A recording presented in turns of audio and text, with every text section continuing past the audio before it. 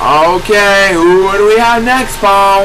Race number 5 will now feature the junior out here and the son of the license to drive. All with Dave Miller, the youngest brother of the Miller brothers, and Barry Mckendas, the 2015 Rookie Challenge winner, and the Dallas Master Dorano. And this one's going to feature the Golden Show again. Let's see what happens here. Please start the race. Alright.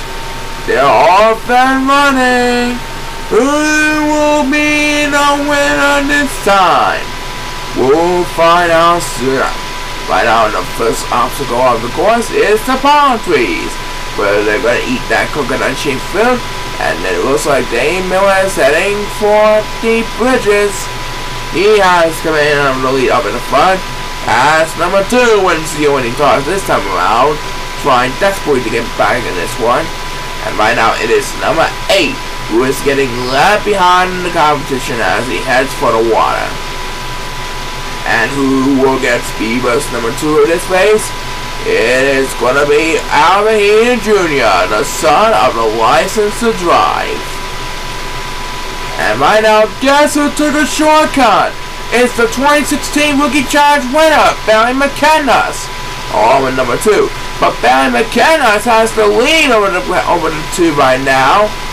As the next US we may buy, number one, who's trying desperately to get back in this one, but at least he's leaving number eight in dead meat over the eight job right now. As Dave Miller will get a turn now. Now bowing with Al Jr. for third place for the pack.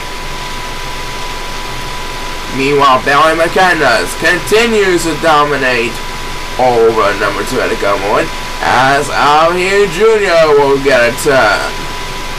And back and back, it looks like number eight is getting left behind in the competition. I think he's going to be left behind for sure. Next verse belongs to our leader, Barry Mckendas. That's your games the ground over the competition. I think he's to hold on easy. Yeah? Who got the next females? It is number 7, who dominates over the rest of the pack. And right now, Barry Mckendas should have this race all wrapped up, ladies and gentlemen. Dave Miller went a little too far that time. As number 7 gets another turn. And now, numbers 1 they are getting left behind. As Barry Mckendas made this race look nice and easy. He prevails over the competition this week as number one expected to close out the speed bus race, leaving Dallas Tommaso Gamano and number eight in the dust.